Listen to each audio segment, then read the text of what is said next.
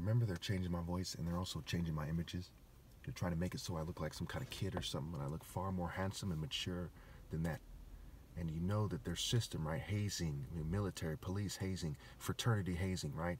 They're trying to put a fog, right? Mystery, mist, airy, right? Over your mind. Okay?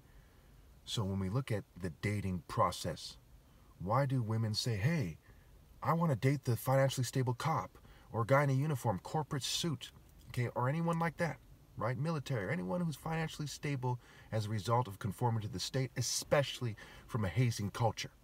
Military frats, college frats, what have you. Why is it so easy for them to get the attractive female? Why doesn't their parents say, hey, he's right? And this picture far overkills what you should know already, and I'm very disappointed in you, and I want you to stop everything and rally to this guy and stop being a dumb bitch so you can go to heaven. Why don't they say that to them? You see these guys in the picture, they're mocking, you know, their fake white image of Christ, but they're mocking the idea of me. Now, this is where you're checkmated. Racist, white, Jew, LGBT, pay very close attention. This is where you're checkmated, one of many, many, many places where you're obviously checkmated. It is a matter of characteristics to the agnostic, not just to the to the Christian. Characteristics, right? You don't pick grapes from thorn bushes or thistles. What are the characteristics of the Son of God? Right? The Lord is a warrior. The Lord is his name. What kind? A holy warrior. What kind of uh, language is Hebrew? An Afro-Asiatic language. Even if it was an Afro-Asiatic language in fucking Antarctica or America, it's, you know, it's Afro-Asiatic. So the spirit is Afro-Asiatic. So you see, there I have the gi on. It's an Asian gi. And I'm part black, part white, part Caucasian. Afro-Asiatic, Afro first, patriarchal line. Right? Before Abraham was Nimrod. Now, let's look at it in terms of agnostic. For those of you who are too stupid to be able to translate the Bible's morals into universal morals, okay?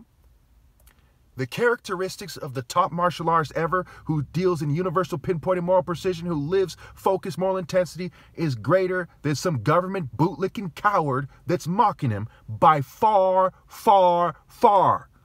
If you don't know that, do you know that, you know, Cruella de Vil is the villain in in um, 101 Dalmatians? Do you know that Ursula is a villain in Little Mermaid? If you don't know that my character, characteristic, and spirit is greater than the state, okay, and greater than people who won't obey God through me, okay, who won't obey moral precision if you're agnostic through me, what the fuck else don't you know? Mean, my goodness, how stupid are you? And when people hear this, if anyone who hears this hears this, they know I'm a brain surgeon son with an over nine year top martial artist challenge. Okay?